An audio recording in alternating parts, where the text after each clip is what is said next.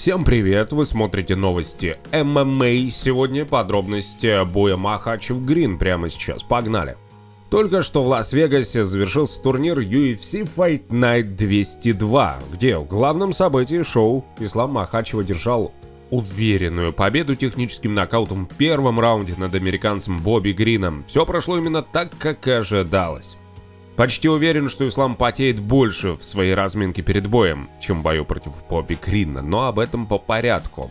На первых же секундах Махачев отметился несколькими ударами. Грин видел все удары, уверенно контролировал дистанцию.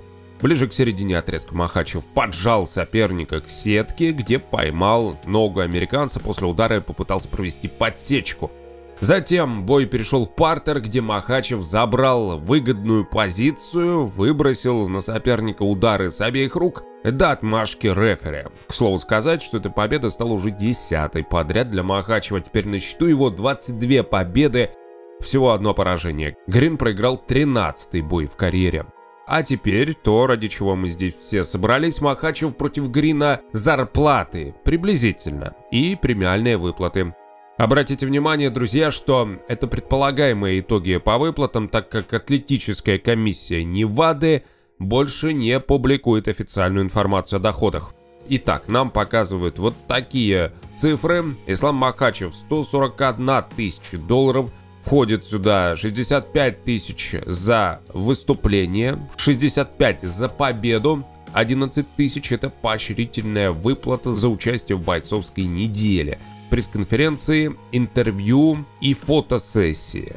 Бобби Грин его выплаты ниже 91 тысяча, 70 тысяч это за выступление, 21 тысяча, как видите, выплата за бойцовскую неделю, Арман Цурукян тоже интересно, 136 тысяч долларов, 40 тысяч за победу, 50 тысяч это поощрительная выплата за выступление вечера, 6 тысяч за участие в бойцовской неделе. Ну и все остальные итоги по выплатам, друзья, видите у себя на экранах.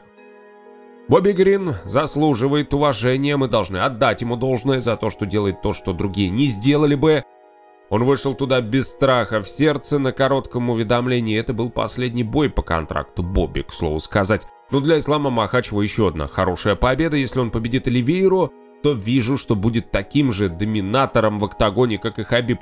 Еще одно. Если Оливейра не сможет победить Махачева, я не думаю, что кто-то вообще сможет это сделать в ближайшее время.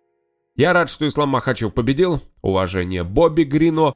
Ну и в завершении вот такая была реакция на победу от Хабиба. Никаких слов, просто одно фото, которое говорит само за себя, друзья. Друг, спарринг-партнер и тренер Хабиб бросился поздравлять своего друга Махачева. Главная и самая ценная реакция – вы узнали, какие зарплаты Махачева и Грина за бой, также первый обзор, как все было, ну и реакция Хабиба на этот поединок. Я слышал, кстати, что Дана сказал, что следующий бой для Махачева будет за титул.